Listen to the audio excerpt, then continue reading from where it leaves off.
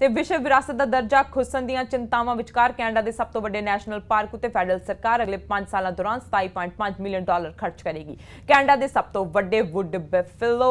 National park ਰਾਹੀਂ ਰਾਸ਼ੀ ਦਾ ਐਲਾਨ ਕਰਦਿਆਂ ਵਾਤਾਵਰਣ ਮੰਤਰੀ ਕੈਥਰੀਨ ਮੈਕੇਨਾ ਨੇ ਕਿਹਾ ਕਿ ਇਹ ਪਾਰਕ ਉੱਤਰੀ ਅਲਬਰਟਾ ਦੇ ਗ੍ਰਾਸਲੈਂਡਸ ਅਹ, ਤੇ ਵਾਟਰਵੇਜ਼ ਦੇ ਲਗਭਗ 45000 ਸਕੁਅਰ ਕਿਲੋਮੀਟਰ ਖੇਤਰ ਤੱਕ ਫੈਲਿਆ ਹੋਇਆ ਹੈ। ਮੈਕੇਨਾ ਨੇ ਕਿਹਾ ਕਿ ਇਸ ਨਿਵੇਸ਼ ਨਾਲ ਪਾਰਕ ਦੇ ਵਿਸ਼ਵ ਵਿਰਾਸਤ ਵਜੋਂ ਦਰਜੇ ਨੂੰ ਬਰਕਰਾਰ ਰੱਖਣ ਵਿੱਚ ਮਦਦ ਮਿਲੇਗੀ ਤੇ ਖੇਤਰ ਦੇ ਮੂਲ ਵਾਸੀਆਂ ਨੇ ਕੁਝ ਸਾਲ ਪਹਿਲਾਂ ਯੂਨੈਸਕੋ ਵਿੱਚ ਕੀਤੀ ਗਈ ਸ਼ਿਰਕਤ ਵਿੱਚ ਤੇਲ ਪਾਈਪਲਾਈਨਾਂ ਪੌਣ ਪਾਣੀ ਤਬਦੀਲੀ ਅਤੇ ਹਾਈਡਰੋ ਡਿਵੈਲਪਮੈਂਟ ਰਾਹੀਂ ਵੁੱਡ ਬਫੈਲੋ ਨੈਸ਼ਨਲ ਪਾਰਕ ਦੇ ਵਾਤਾਵਰਣ ਮੁੱਲਾਂ ਨੂੰ ਘਟਾਇਆ ਜਾ ਰਿਹਾ ਹੈ।